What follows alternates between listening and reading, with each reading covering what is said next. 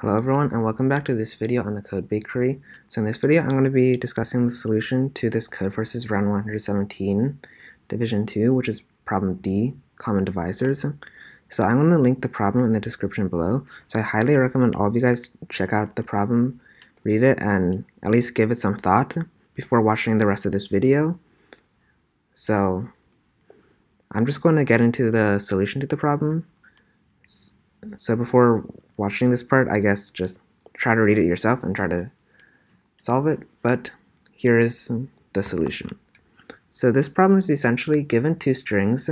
We want to find a common divisor among the two strings. So, and a divisor in a string, as they consider it, is essentially a substring that is repeating in it. So if we take the substring AB and we like essentially continuously add itself, so AB and then we'd add another AB, it would get us to the original string. And then a common divisor is essentially a divisor that the two strings share. So for example, I have AB, AB, AB here, but if I were to have another string AB, AB, they both have the common divisor of AB, because they both have a divisor of AB. So first let's discuss how are we going to determine if like a how are we going to determine if a oh my. How are we going to determine if a substring is considered a divisor? So this is actually a pretty like simple solution we're just essentially going to iterate over this original string and then check whether the current substring is the same as the divisor substring. So for example, for AB, I would go, okay, are the first two letters the same as the divisor? Yes. And then I move to the next two letters.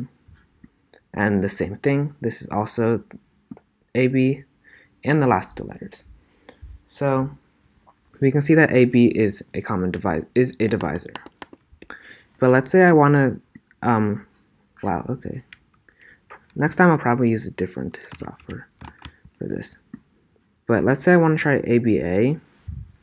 I'll essentially just go through this and say, okay, ABA is considered a, is the same.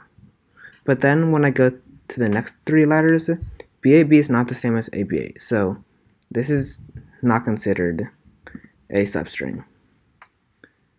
So how are we going to determine whether like whether a or how many uh, common divisors two strings have? So first we're going to say we have to make the observation that a divisor can only be like the divisor's length has to be a common divisor of the original string's length.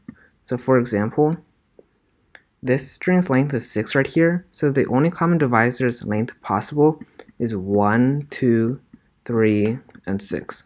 So for example, we cannot have a divisor's length of 5 because it just simply, like, the first 5 letters could be the same, but then we don't have enough letters to have for the second part, so it wouldn't be the same. Now, essentially, what our program is going to do is um,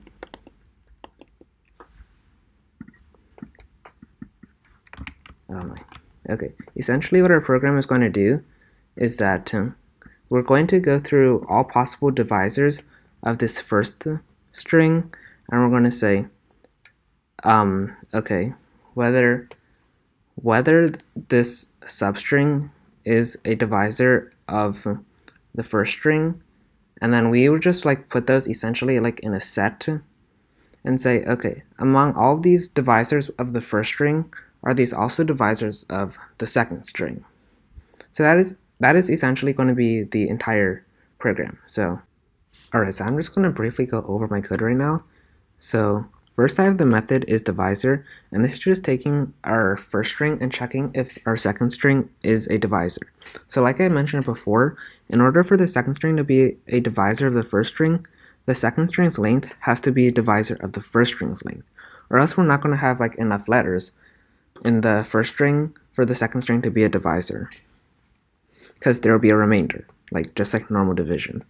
And then you're going to see that um, in order to check if S2 is a divisor of S1, I'm just going to iterate over the first string and check all consecutive substrings of S2's length and see whether that is equal to S2 or not. And obviously, if that substring in S1 is not equal to S2, then it isn't considered a divisor. So now in our solve method, I'm essentially just going to take these strings over here, and this set of strings is like the divisor, the possible divisors for S1 that I want to check against S2.